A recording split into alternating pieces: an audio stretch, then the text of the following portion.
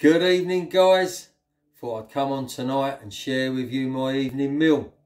Not literally, just visually. Just to get you back motivated into the healthy eating habits you had before the Chocolate Fest the weekend. Don't tell me you didn't overindulge guys. We all overindulge. I overindulge without a doubt. I scream, you scream, we scream, I scream. I had some of that as well. Lovely it was. But now what we've got to do guys is get straight back in to our good healthy eating habits we had before. That's what the Pro Diet is all about. Three good proportional meals a day and it also allows us to enjoy ourselves when we want. Simple set of rules guys for a simple diet. Right guys, you vegan people are going to love this meal without a doubt.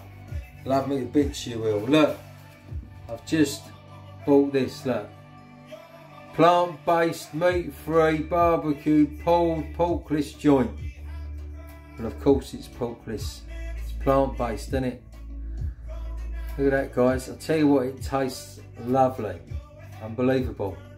Got that for a pound, normally four pound guys. But I've got to like it because I bought 15 of them.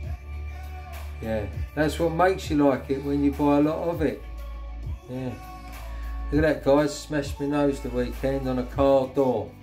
My mate's bought a new car, opened the car door up, smashed me straight on the nose and knocked me out. He reckons my nose is getting a bit long. No, it's not. They're making the car doors now like rocket doors on cars. Big long sharp bits on them.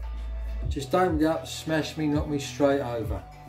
Anyway guys, let's show you this um, meal just done. Look at that. Smells lovely.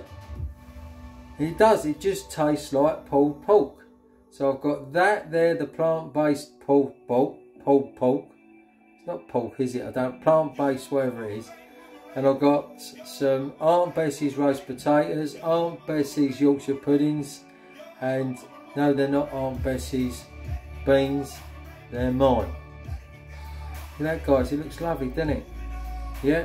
So all I've had today, guys, is a nice little breakfast this morning, a little bit of salad and a bit of pasta for lunch, my main meal. No chocolate, no rubbish, guys. Kickstart your good health eating plan today. Stay in control, guys. It's all about the psychology, all mind over matter. Always be the boss of your portion size, guys.